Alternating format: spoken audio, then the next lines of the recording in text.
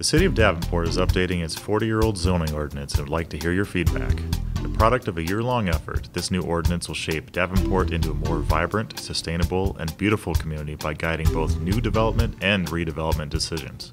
Attracting quality development to our city is a competitive process. Investors look for communities with clear, modern codes that streamline the process and get projects quickly under construction.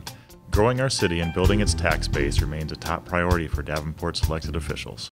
Zoning regulations determine land use and what development will look like. They also help the city implement its comprehensive plan, which envisions what Davenport might look like 20 years from now. Zoning consists of two parts.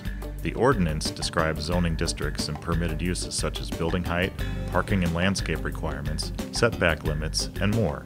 A zoning map shows the different zoning districts and where particular rules apply. Current effort in Davenport will result in both a new ordinance and map for the city. For the past year, city staff and an advisory committee have been working with the consulting firm Camiros, which has expertise in developing modern zoning codes. A preliminary zoning ordinance and map is now available for the public to view on the project website, davenportzoning.com. A series of listening sessions where citizens and business owners can offer suggestions and ask questions will be coming up at the beginning of August.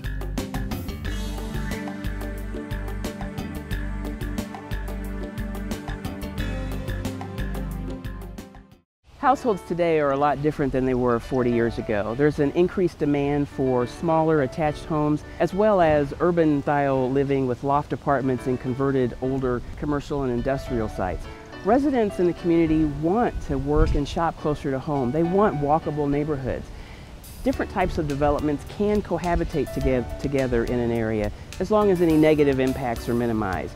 Home buyers want assurances that their investment in their home as well as in their neighborhood is protected through high quality construction and compatibility. How people work and shop is changing. Shoppers may prefer going online at times, but brick and mortar stores will continue to be prominent in tomorrow's landscape. Shoppers not only seek convenient options close to home, but also a more enjoyable experience that can be shaped through good urban design. These days, many people can work from home, but personal connections and group collaboration will continue to drive demand for office space.